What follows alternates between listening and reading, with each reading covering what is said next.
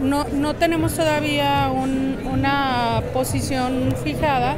dado que la, disposición general es,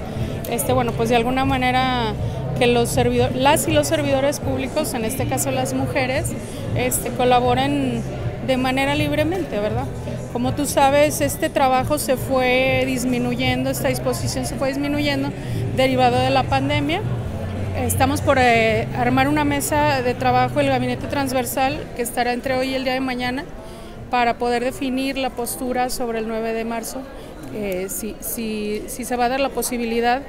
en todo caso sería libremente para quien asista o no asistan a trabajar el, el día 9 de marzo. No ha habido una solicitud como tal una inquietud como tal de las servidoras públicas. También creo y debo decirles que en el tiempo que la pandemia nos mantuvo tan encerrados, yo en general veo a todos los servidores públicos con una sed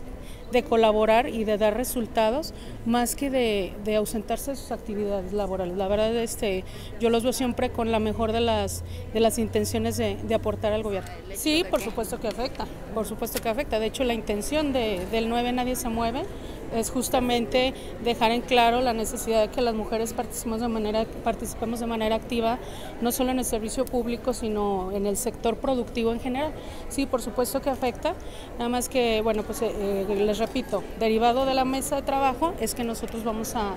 manejar la, información de manera oficial y también decirles que, bueno, en, el caso de la gobernadora, como ya lo escucharon quienes estuvieron adentro en el, en el evento inaugural y aquí en la rueda de prensa, pues ella respalda siempre la decisión personal que tome cada quien, hombres y mujeres, en este caso el tema de las mujeres, por ser 8 de marzo. Tenemos 9 mil, en el, en el gobierno central tenemos 9 mil servidores públicos, en el descentralizado con el tema educativo son 16 mil plazas